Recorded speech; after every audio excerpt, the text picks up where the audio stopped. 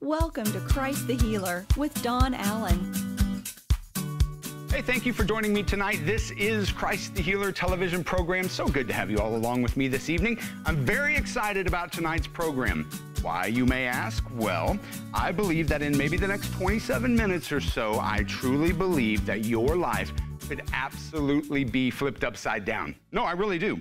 I do. I'm serious. Listen, we've been led to go back and we've been looking at all these individual healing miracles of Jesus. And so far, in just the past few weeks, we've already had viewers calling us back that are being healed. So, so just so that you understand what I'm talking about, I'm talking about they woke up in the morning and they were having an issue in their body. And, and that evening they saw a show that was called Christ the Healer and they had some expectation that, well, it says Christ the Healer, I need healed. And so they jumped on this program, they heard the word of God, it got into them, and they went to bed with a miracle, one that they didn't have that morning.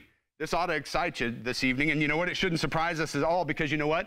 Bible methods are still producing Bible results. Glory to God. So if it's a miracle or healing you need in your body, let's go back to the book. Let's go back. Let's look in the four Gospels of Jesus Christ right here. Let's look back and see exactly what it is that Jesus said. What did Jesus do? What did the sick person say? What did the sick person do? Because you know what? I know there's a lot of social media out there right now, and we got, well, he said that it's this way, and she said it's that way, and he said you got to have faith, and she said you didn't, and well, he said it was my faith, and he said it was her faith. And look, let's just go back to the book and let's find out what it is that Jesus said. If we can see it in red letter, then that's all we need, right? We don't have to uh, guess. We don't have to grab a general consensus. Let's just go back. Let's look in the Bible. Let's see what it is that Jesus said. And so that's what we're going to be looking at. And then how's this is how did these people position themselves to walk away with a healing or a miracle in their lives? And then let's expect that if we see that in the Bible, like anything else that we see, Let's expect that we can have it in our lives tonight. Amen. We've made miracles and healing a denominational issue and a, and a doctrinal decree or something, and I'm not sure why. Did you know there's hundreds of scriptures, really hundreds of scriptures in the Bible that point to healing and point to miracles? And, and they're all wrapped up alongside scriptures that talk about forgiveness. Uh, they're wrapped in scriptures that also talk about salvation as well. And so I want to know who came along and used their doctrinal scalpel and thought, well, I'm just going to remove healing out of that section. And, and you know, I know he forgives, but he, I don't know. And they started cutting things out. Listen to me tonight. Jesus Christ is the same yesterday, today, and forever. Now, would we say that Jesus has ever forgiven somebody? Well, of course. I mean, we can go back in the Bible. We can see where Jesus forgave somebody. He's forgiven you before. So certainly nobody's arguing that one. Does Jesus heal people today? Or did that pass away? Well, no, nobody's arguing that one either. Will Jesus forgive somebody tomorrow? Well, of course he will. Sure he will. Nobody's wanting to fuss and fight and say, you know, we just, uh, we don't believe in forgiveness of sins here.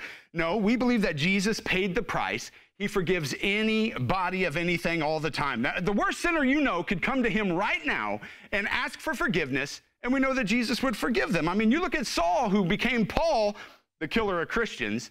This man was forgiven and used by God. And I think that, well, if, if that is what took place, then I think I'm okay, you're okay, and they could be okay too. But now let's replace that word forgiveness with the word healing or miracle. And suddenly it's like, oh, now, wait a minute now, wait a minute now. Jesus doesn't heal anymore. Why?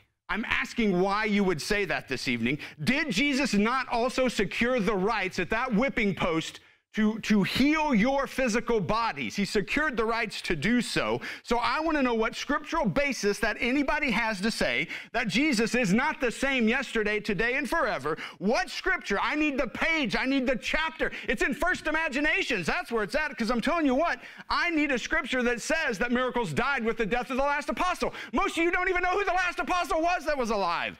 Healing was dispensational. He doesn't heal everybody today. I know some of you are saying that. If we can just get real tonight, some of you are saying that because you know somebody that's passed away. And I understand. I get it. I get it. Let's just get into it tonight. Some of you are absolutely convinced that God has allowed a loved one or a friend of yours to pass away. And so you're taking a personal experience because you love God, and you do, and that's not what's in question here, and you're creating a doctrine out of this thing. Well, I know good people that were sick and, and they died and God didn't heal. So I want to ask you this. I just want to ask tonight do we have folks today that are not born again? And I'm just asking a question here. Sure, we do. We have too many of them, actually. So, does that mean that God isn't saving people anymore? I mean, because, I mean, there's millions of people that are not born again. That's my personal experience. Or would there be a part that the person would possibly need to play in order to be born again? I mean, I mean, could we dare say that if somebody's not born again, that God had something to do with that? I wouldn't blame God for that. He's, he's secured everything we needed to be able to make the decision to be born again. Now, if you didn't know about it, that's one thing. That's where we have to begin to tell people. God provided a way for everybody to come and be born again. At the moment that they discovered what it is that needed to be done, they can act upon the, the power of that knowledge and go and accept Jesus Christ as their Lord and Savior, certainly. But when it comes to the topic of healing, I'm saying this out of a desire to see you set free this evening. Do you really believe that you just have the Bible all figured out? So much so that you could say that, uh, well, you know what, I know that God doesn't heal.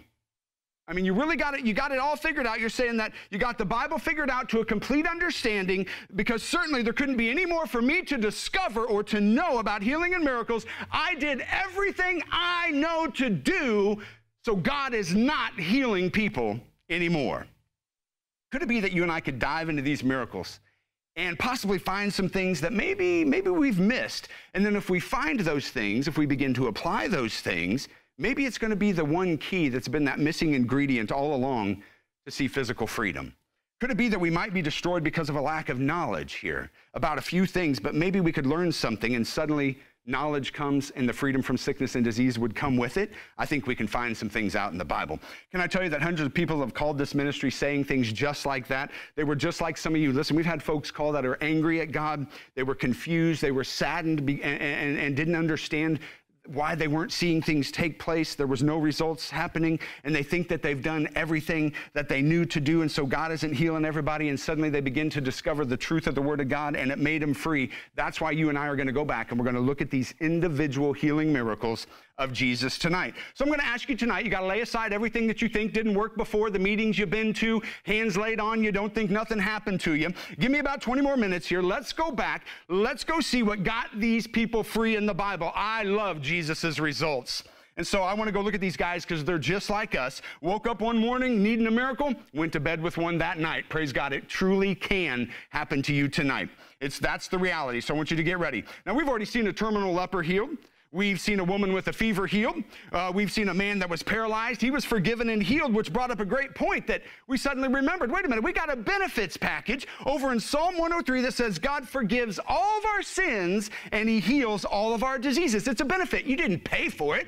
He gave it to you. It's a benefit. It came to you for free. We saw a nobleman's son who was healed by Jesus just speaking a word, telling that father to go on, and his boy was made whole. Tonight's miracles recorded three times in the Bible. We're going to look at one of those accounts tonight. Now, I'm going to encourage you to go back and look at all three of those if you would. But this one's found in Matthew 12. It's in Mark 3. It's in Luke 6. Now I'm going to go look at Dr. Luke's account. I love Dr. Luke, right? He's going to give us some details, as doctors do, about these issues. So Luke 6 and verse 6 it came to pass also on another Sabbath that he entered into the synagogue and he taught. Now, we see this with a lot of these miracles. Jesus' teaching was involved. Why do I bring that up? I think sometimes we've created uh, this idea that for me to have a miracle, it's got to be wrapped up in this atmosphere of a service, right? We got to have the right speaker. We got to name it the right thing. We got to have the right music. And it's, it's we got to have this atmosphere that's just set, and, and, and then I can have a miracle. And we think it's got to be this wild service if I'm going to be healed. And you know what? It could be one of those, but that's not what's required to have a miracle tonight. Proverbs 4 told us God's words are life and health or even medicine to our flesh. So we see that in some of these stories. Jesus is teaching. He's providing them the life-giving word. He's giving them the medicine, if you will. And that's why you can have a miracle tonight in your home because we're going to give you the, the word of God. So Jesus is teaching. And the second thing that teaching does is, of course, we know faith comes by hearing, hearing by the word of God. He's providing them something to believe in. He's not going to hold them accountable for what they don't know. So what is he going to do? He's going to give them something to grab a hold of. He's providing them something. He's teaching them. And so here's a man whose hand is withered, it says. Dr. Luke's going to tell us it was his right hand that was withered. It's drawn up, it's pulled in. You've seen people like this before. Verse 7 And the scribes and the Pharisees watched him. Now, here's some very highly educated men. They've got degrees in theology, but that's not bad in and of itself. But let me tell you, you can know the Greek and the Hebrew, and you still don't know Jesus. I hope you're hearing me tonight. These men had some information they knew about God, but they had no relationship. They knew the writings of Christ and yet did not recognize him as the very Son of God standing right in front of them. So, so they're watching him. Why? To see whether he would heal on the Sabbath day so they can find an accusation against him. A couple things to note again. I love this. Isn't it amazing that here's these guys that don't, they don't even like Jesus. They don't follow Jesus, but look at their expectation. They absolutely knew that if there was a sick person in the room, that Jesus was going to heal them. Look at, look at the expectation that they had. They don't even like him, and yet they knew every time if there's a sick person, he's going to heal them. It's just, you know, he's going to do it on the Sabbath. That was their problem. They never questioned the miracles. They never said he can't work a miracle. No, they were just mad because they knew he was going to work a miracle. It was just going to mess with their little doctrine. You know, your doctrine needs a little messed with, I think, tonight. So here it is. They understood this, that it was just the Sabbath day was the problem. Now, look, we still got some folks like this. I've had ministers walk right into our meetings before and tell me that miracles are not for today. And, and, they've told me that what we're teaching is unbiblical right to my face. And you know what I did? I did just what Jesus is about to do here. Did you understand that a miracle will settle the issue? I don't need to argue. This book wasn't made for arguing. It was made for believing, glory to God. So I didn't need to argue with them. I'll show you the, the book of God and the God of book of the book here, and it's still going to do what it is that it does. So I love this because I, I know what man has said about it, but again, I want to look at what Jesus is saying here. So these men are sitting there. Jesus is teaching. I suppose it was probably a message that was going to be worth hearing that day, but they just couldn't concentrate because they knew that a sick man plus Jesus, that equals a miracle every single time. You remember our story about the man brought by four? You remember the part where it says Jesus perceived their thoughts? They obviously did not learn their lesson, verse 8, but he knew their thoughts. He knew their thoughts. And he said to the man which had a withered hand, He said, Rise up, stand forth in the midst. And he rose up and he stood forth. I love this because Jesus never played it safe. I love that about him. He never buckled under the pressure. And so here's Jesus. He knows what these guys are thinking. So he goes and he's, he's going to bust this thing wide open right where they're at. Oh, I get it. Here's a guy with a, a physical infirmity. That's fine. Sir, please, you go ahead. Stand up. Stand up right in front of everybody right now. You go ahead and stand up. This is what he's telling him. So can I say this to you tonight? This man knows there's opposition in the room. It doesn't take a psychiatrist to know when folks really aren't into it. But uh, there's tension in the air, and, and, there's some guys in there that don't care one ounce about this man's condition at all. They just want to get Jesus. They want to catch him breaking some rules so they can have something on him. So I'm going to challenge you tonight, as we do on this program. God's been leading us to do this. I want you to stand to your feet tonight. What do I mean by that? I mean that you've been sitting back, you've been ignoring your condition. Some of you have had it so long, nobody at church even notices anymore, but you know it, you live with it. And so now you kind of feel like you've just been simply overlooked and, and nobody cares anymore. I mean, it's been with you for so long, nobody at church is even praying about your condition anymore. A man with a withered hand was sitting in church and nothing was happening. And so this is the condition with you, possibly. And so what happens is you've had it so long, you've adapted to the bondage. Jesus is calling you out tonight. Now, I want you to listen to me. I want you to stand up right now. Jesus saw it and he took issue with it and he wasn't going to leave it that way. And I want you to call the number on the screen tonight, right now. And here's what you're going to do. You know how this works, right? You're going to leave me a message. Listen to me. We're getting amazing results back. Why? Because here's what we do here we listen to every single message personally, and then we take that request and we pray and we take it to the Holy Spirit of God that knows all things and we ask Him what you need. You don't need a scripted prayer. You need to know what Holy Spirit is saying to you tonight. And that's what we're going to do is we're going to take that request, we take it to him, we dial your number and we call you back. Would you trust us with it tonight? I hope you can because we're trusting Holy Spirit. And this is how you're going to stand up to be seen. I'm not going to allow you to sit back and get lost in the crowd suffering. Jesus is calling you out tonight. So this is what you're going to do. This is what we've been doing. This is what God's been showing us to do on the program. You're going to call me tonight and you're going to say, Donnie, I'm standing up against. And you just fill in the blank right there.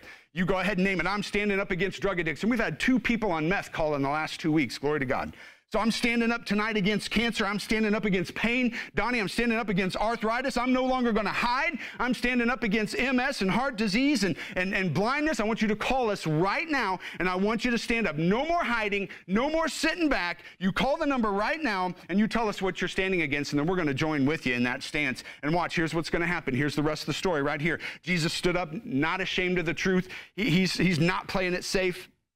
I think we ask the wrong question sometimes. Well, Donnie, what do we do when it doesn't work? Now, the question is, what do you do when it does? Glory to God, because it does work. What happens when it does? So Jesus busts these guys out, looks them right in the eye in verse 9, and then Jesus said to them, I'm going to ask you one thing. Is it lawful on the Sabbath to do good or to do evil, to save a life or to destroy it? He wanted a reply. If they say to do evil, well, nobody likes that answer. Jump over to Matthew 12 with me real quick here. Jesus says this before asking the question. In Matthew 12 and verse 11, he said this, and he said unto them, What man shall there be among you that'll have one sheep, and if he falls into the pit on the Sabbath day, he will not lay hold onto it and lift that out? They understood this. They had sheep. He's putting them on the spot. What will you do? Will you leave that sheep in the hole, or would you get him out? And they had no answer. But we know the answer. They knew the answer, glory to God, that if you had a sheep on any day, it didn't matter if it was the Sabbath or not. If he fell in a hole, would you leave him or get him out? They knew the answer. And so let's look at it like this then. Maybe, maybe, maybe animals don't do it for you, right? Maybe you don't have very much compassion about animals. So let's say this then. Let's say mama's in the kitchen, she's cooking something, she cuts her hand really bad, and it's going to require medical attention. Do you leave it or do you take her to go get it attended to? Wait a minute now, just listen to me. I'm going to go somewhere because here's the thing. What if it was the will of God for her to lose a finger? Oh, I know that sounds morbid, but just follow me now. What if she was angry earlier and, and, and, she was mad about having to be in the kitchen and she cussed and maybe she looked at another man or I don't know. And, and I mean, is this God's way of telling her not to do that? I, I, mean, God's getting her attention to get those unclean thoughts out of there and get his mind back onto her, maybe? I mean, I don't know. Would you get down on your knees and ask God if it was his will for you to help your mama and go to the hospital? Or would you just go and get it taken care of? Yeah, I'm being a smart aleck tonight about as much as I know how. Listen, baby chokes on something and, and it's stuck in their mouth. Well, you know, I mean, what would we do? Would, would that be the will of God? Or do we immediately, without even thinking, we go and remove that thing and we do everything we can to help that baby? No prayer asking God about his will because, you know, I mean, it would be sin if we were to help that baby and it was God's will for the child to choke. I mean, I, I don't know. I mean, come on now, listen. Is it the will of God for you to be sick? Because if it is, why are you going to the doctor? If that's what you believe, why are you going to the doctor to try to get out of the will of God? Why are you taking prescriptions and treatments trying to get out of the will of God? I want to know. I know I'm being ridiculous tonight, about as ridiculous as anybody saying that it's the will of God to make somebody sick, break somebody's leg, or teach them through cancer, punishing them uh, for their sins through sickness. Well, that would be legal for us to inject our children with poison, I guess, when they mess up. I mean, because that's what you're saying about God here. That, yes, He's a loving Father. He gave His Son to die for us, but don't you cross Him because He'll break your leg so that He can put you in a hospital so that you're going to spend time looking in your Bible and get right with Him. I had a preacher tell me that happened to him.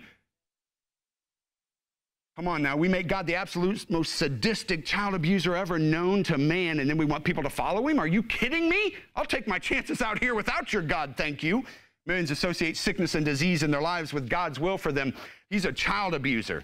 Without one single scripture to back up what it is they're saying, not one story about Jesus making people sick, right? I mean, if Jesus is the will of God in human form, where's the stories about Jesus just doing the Father's will and making somebody sick. I mean, if he had the power to heal, shouldn't he have the power to kill? Oh, wait a minute, that's somebody else who steals and kills, and that's scripture. It's somebody else. Well, our church doesn't believe that way. It's just a doctrinal difference. No, it isn't. It's satanic, it's evil, and it's antichrist. I'm going to call it what it is. It's, blas- it's blasphemous, guys. It's unscriptural. It's got nothing to do with doctrines. It's got nothing to do with denominational beliefs. It is blasphemous to blame God for the work of the devil. Period. Jesus asked, What would you do? Animal falls in a hole. Would you hit the dirt next to the hole and cry out, Father, what is thine will? Do I save thine animal or do I let him rot? I don't know. I don't want to be out of your will, Father. If you have a mysterious plan for animal, I don't want to interfere. So easy to see somebody else suffering and say, Well, if it be thine will, let it be you. And it's all hands on deck. I need 10 elders over here at the house right now praying. I need on the bulletin prayer list, and I better be at the top. And somebody needs to sit out a jar for money to pay for my medical bills. But guess what? If it's according to your belief, none of that would matter if you're going against the will of God anyway. You don't even believe your own doctrine tonight. Listen, Jesus compared the healing of this man to an animal in distress. We get so mysterious about rescuing a human from bondages and diseases, and yet you don't think five seconds when you go rescue a cat out of a tree. You've never hit the dirt and said, Father, is it thine will that I should rescue thine cat from the tree? You don't even think five. Eh, come on, listen to me. Jesus made this so simple. Listen, I'm tired of preachers copping out and saying, Well, you just never know. God moves in mysterious. No, he doesn't. God doesn't move in mysterious. You just never know. That's like saying water's wet. You've not said nothing. Come on, listen to me. I know, I know, because I got a story right here in front of my face that's telling me. I don't have to guess what Jesus would do. I have a true story about a man whose hand was withered. And here's what Jesus said. Here's what the man said. No mystery at all. I know what he said to a leper. I know what he said to a woman with a fever. I know what he said to a man brought by foreign, a nobleman's son. And I'm about to know right now if you would leave a man sick and diseased and withered, or if you'd heal him. I don't have to guess. It's right here in the book. Acts 10:38, how God anointed Jesus of Nazareth with the Holy Ghost and power, who went about doing good and healing all who were oppressed of the devil, because God was with him. Isn't that what we're talking about here? We're talking about doing good and healing all. And if you didn't know, well, there's your scripture. this is no mystery. If you want to know what Jesus was anointed for, it's for this right here anointed to do good and to heal everyone that's being oppressed of the devil. You mean oppressed by God? Because that's what you're saying if he's making people sick. It says oppressed of the devil. And he did. Luke 6, he asked a question if you had a sheep in a ditch, would you pull Fluffy out of the hole or not? What would you do? It's unbelievable to me that we are so more concerned about saving the whales than saving a fellow human being. So, what's the key to the miraculous here? You remember when we, we always have a God side and a man side to every story here. And we said we want to see what it is that Jesus said and did. We want to see what it is that the sick person said and did. So, what's the key on our side? Well, it's what Mary, the mother of Jesus, said at that very first miracle that Jesus performed. She said this at the, at the water to wine. She said this whatever he says, do that. Whatever he says, do that. See, doubt and unbelief begins to argue and fuss about it. Faith simply believes, receives, and gets to moving. Jesus told this man to stand up, and all the time this guy's standing there, Jesus talking about rescuing Fluffy the sheep out of a hole, and, and he could feel the tension in the air. And so here, would you guys rescue an animal or not? Nobody's saying anything, but everybody knows the answer. I want you to call me tonight. Listen, I want you to leave a message, and I want you to say these words Donnie, I know that God is rescuing me from. No, come on, listen. See, you know the answer. He's asking you, if you would rescue this animal, then would I heal you? You already know the answer, so I want you to call me and fill in the blanks. You know this. You know the answer to the question already. Would you save an animal that's in a mess? You know the answer, Donnie. I know that God is rescuing me from the hole of sickness. He's pulling me out of a ditch of disease right now. I want you to call the number because we're going to see a miracle in your life tonight. Donnie, I know that God is rescuing me. You call me tonight and you say those words. When did we ever see Jesus not rescue somebody from sickness and diseases and pains that they were in? So he tells this man, he said, You stand up. In Luke 6 and verse 10, here we go. And looking round about upon them, he said unto the man, Stretch forth your hand. Well, Jesus, wait a minute now. Here's the thing, right? My hand is withered. I mean, it's drawn up. That's the problem. I, I, I can't. I mean, I've tried a million times. Believe me, Jesus. I, I've I've done all I know to do, Jesus. What do you mean, stretch forth my hand? I can't. That's the issue. I mean, if God would do something, then I would stretch forth my hand. How do you walk away from leprosy clean? How do you go from a dangerous fever uh, a second ago to fever free? How do you go from paralyzed to walking and forgiven? How does a boy rise up out of his deathbed? They do it by faith. Faith comes by the hearing of the word of God. See, tonight, you've tried everything that you think that you know to do. Listen to me. I'm now telling you, under the unction of the Holy Spirit of God tonight, Jesus spoke these words. And when Jesus commanded this man to stretch forth his hand, don't miss this. He was not trying to convey a message, he was not trying to communicate a point. Watch. What Jesus, when he spoke these words, it created a thing. Come on, listen to me now. This is how God created man. He spoke us, and Jesus is speaking, and he's commanding that man to stretch it forth. I know you tried it a hundred times times and failed, but this time Jesus is speaking, and under that command is the power to do it. And if you'll apply the faith necessary, how much? Jesus said about the size of a mustard seed. That's about as much as you need right there for a miracle tonight in your life. What's mustard seed? It's simply moving without the knowledge, but doing it anyways because of the source, because Jesus said so. That's about the best way I can sum it up for you right there. And, and so you don't have all the details, but Jesus spoke. And because of the source, I'm going to go ahead and I'm going to obey him by faith. And he provided the power for that miracle. When that man tried a hundred times before, look at it now. Jesus spoke. And I've been telling you guys tonight to stretch forth and, and to call the number on the screen. That's all I'm doing here is I, I need you to stretch it forth tonight by faith. You gotta, you gotta stretch your faith a little bit tonight. All Jesus was saying is, I need you to go as far as you can go by faith, and I'm gonna meet you right where you're at tonight. He told this man, watch this now. He said, stretch forth your hand. And it says, and he didn't, no, no, he didn't try. He didn't try anything. Donnie, I've tried. No, no, no. Uh-uh. And he did so. And this man went as far as he could go. And when that man reached all the end of what medical science could do in that hand, when he reached the end of, of all that he could think to do in himself, all of a sudden, when he reached the very end of everything in the natural that he could do, he reached the very beginning of everything that God would do for him. And that man stretched forth his hand, and it was restored as the other.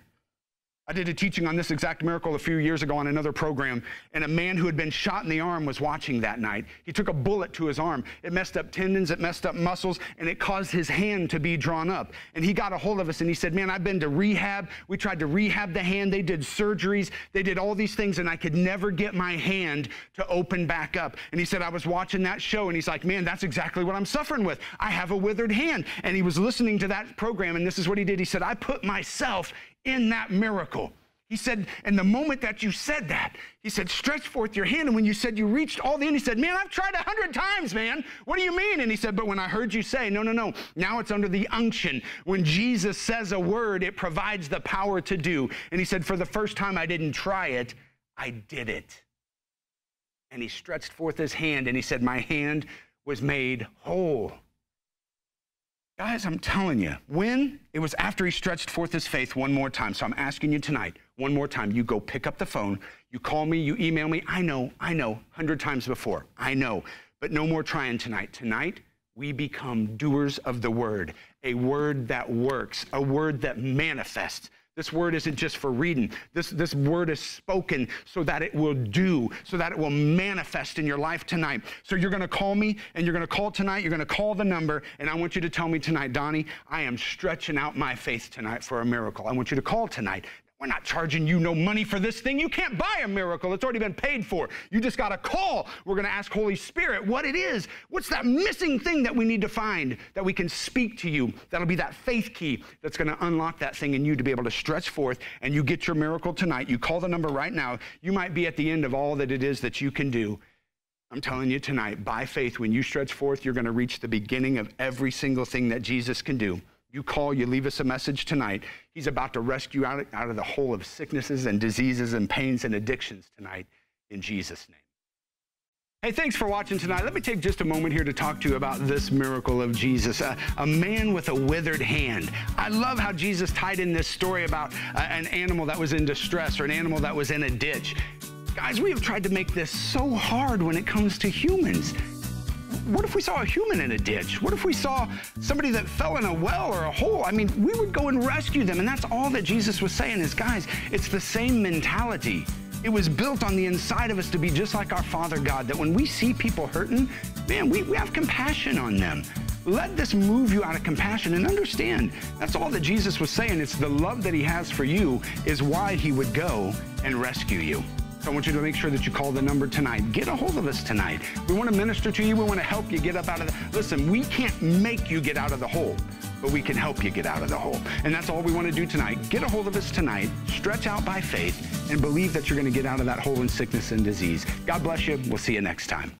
Thank you for joining us today on Christ the Healer with Don Allen. We encourage you to connect with us on Two Guys and a Bible Facebook page and view daily posts on healing. For more information about Christ the Healer and this ministry, go to twoguysandabible.com. You'll find products that are helpful in confirming that God is willing to heal and He's still doing it today. Take this opportunity to receive a free audio collection of 101 healing scriptures on CD. Find out what happened when the High Witch of the Four Corners confronted a group of believers at a tent revival. Seven Days with the Witch by Don Allen. Order your copy today by going to twoguysandabible.com. For additional teaching and great programming, listen to the 1412 Radio Network. Get online and type in 1412.com and select Listen Now. If you need to contact us for prayer or you'd like to schedule Don to come and speak in your area, you can call or send an email message and someone will contact you. So thanks again for joining us, and we'll see you next time on Christ the Healer.